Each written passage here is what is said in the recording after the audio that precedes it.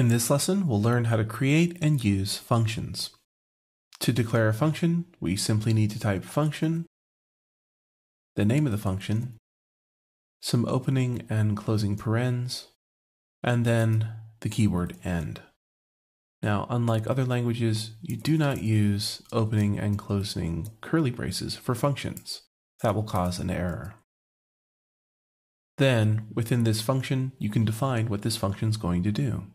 Here we'll have our function print to the console. Once it's defined, we can call the function.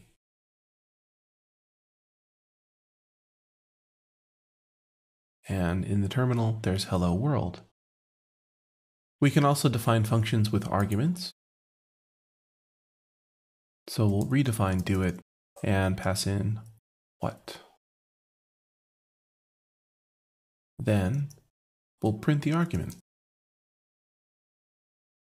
Now when calling it, we'll pass in a string. And so the argument what is printed to the terminal. Go ahead and delete the first one. Take a look at the terminal, and there it is again. If you define a function just using the keyword function, it becomes a function that's global to the entire application. Most of the time, we don't want to do that. We'll want to use the keyword local in front of the function. This then scopes the function to just this execution context, which is this particular window. We'll go over scope in a later lesson. We'll take a look at it again. There isn't any appreciable change, but know that any local keywords applied to functions or variables will perform much faster. Now, technically in Lua, if you have a function with a single argument, you don't need to use the parens when calling the function. And so here notice that I left out the parens and we still get hello world. However, as soon as I add another argument, I'll need to use the parens.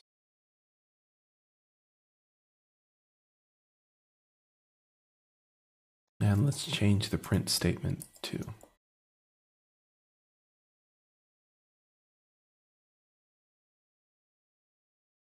So now we get Hello World on Earth. Lua treats functions as what are called first-class citizens. That means that we can assign functions to variables. So we'll create a new variable called foo and set it equal to the function, do it. But we won't use the parens because if we do that, it would actually execute the function. Instead, we'll do it without the parens, and now we'll call foo and pass the arguments that we would pass to do it.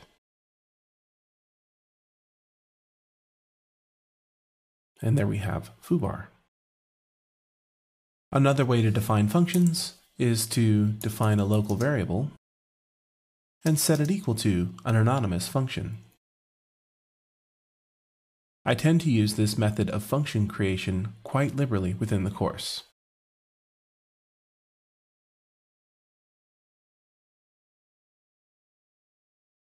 And so here we'll call bar, and then we'll see the result. It looks like we have an error. And we forgot the concatenation. Let's put it back in.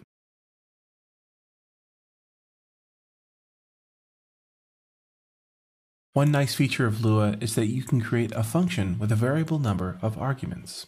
To do this, you'll create the function, and then within the parens, type dot dot dot.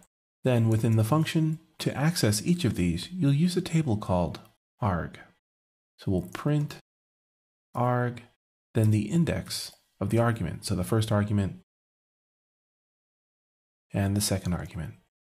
Now, I won't write in any sort of checking to see if there are two arguments. If you were going to use this in your code, you'd want to write some logic to check for these arguments. So we'll call lots of args, and the first argument, and the second one.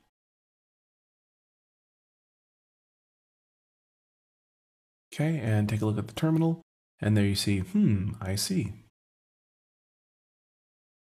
So that's particularly useful if you're defining your own classes.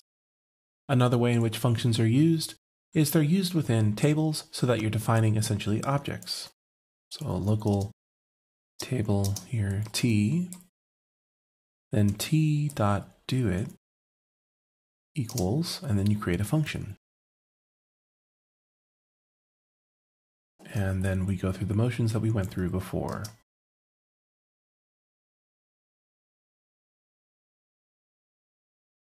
To call this function, t dot do it, and then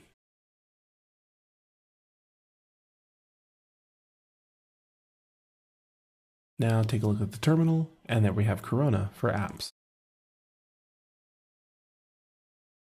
Finally, you can return values with functions by using the return keyword.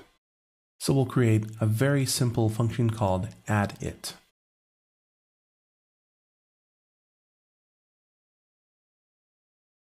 And this will return the result of the first argument plus the second argument.